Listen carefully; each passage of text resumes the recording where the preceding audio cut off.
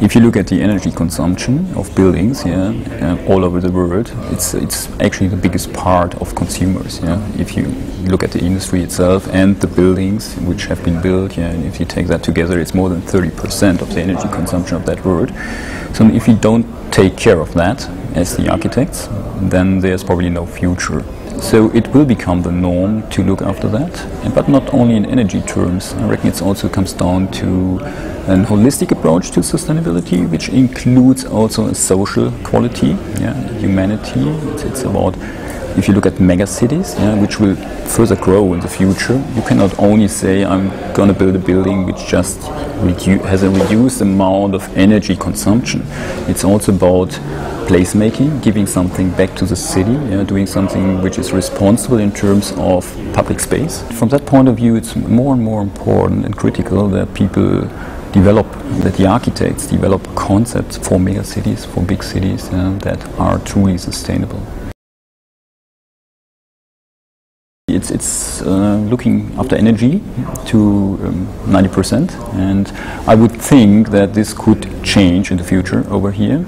Uh, so move towards a more holistic approach. The trend must be to not just look into the mechanical aspects, but to improve the architecture in passive means. So less technique, more clever thinking. How do I locate my building? How do I orientate the building?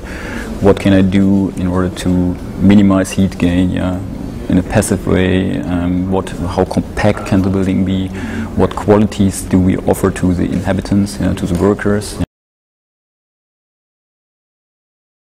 A lot of these measures are relatively expensive if you just look at the primary investments. This is complicating things a little bit because some reasonable aspects are not integrated into design simply because people are afraid of the cost. Yeah. However, if they would look into the long-term um, development and, uh, to the feasibility in long term, uh, means of the long term, then you would find out that this pays back after 10 years, other things only after 20 years, but that's getting better as well. So I think that's going to change dramatically in the next decade, simply because there will be uh, things will get cheaper, things will alter, will get more efficient, and by getting more efficient, it will get more attractive for clients to do so. Is there a change? Yes.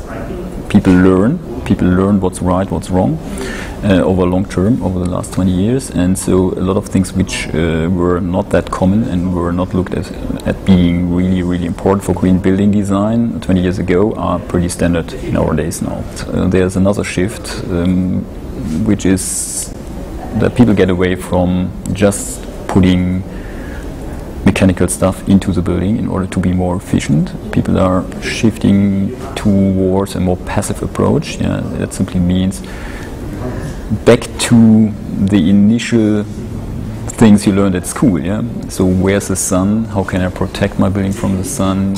How should it be located in order that I catch the wind? That I can allow for cross ventilation? And I think that's getting more and more important, and that's what people learned now. Yeah.